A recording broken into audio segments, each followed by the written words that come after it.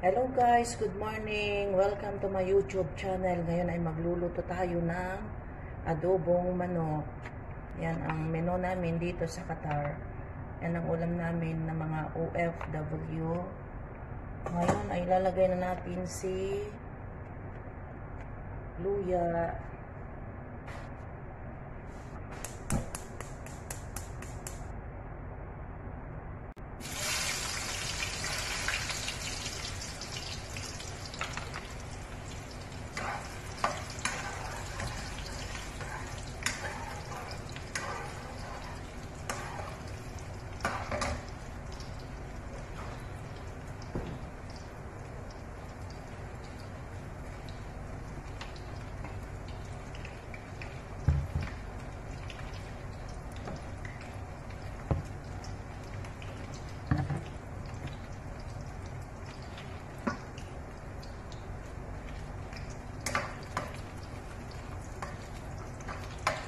natin si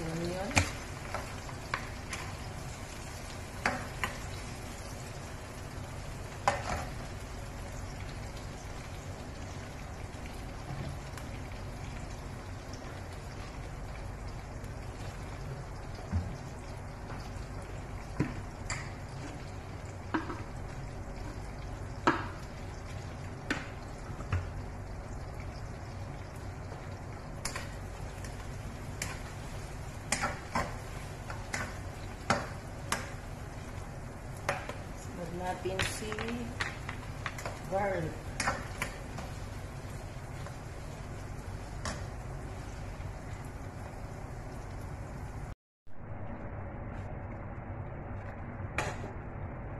Ayan mga kapatid, balikan na natin si chicken. Lagyan na natin ng kauyo.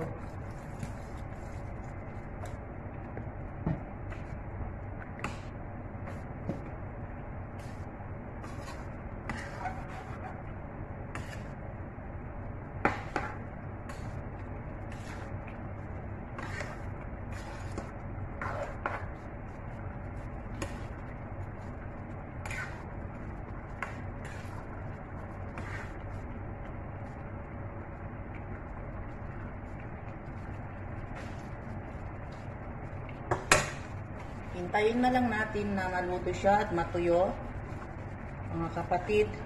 Tapos ilagay na natin yan sa ibabaw. Ihuhuli natin yan. Laging sinasabi ni madam ko na lagyan ng ganyan para pantanggal ng lansa. Takpan muna natin mga kapatid para matuyo.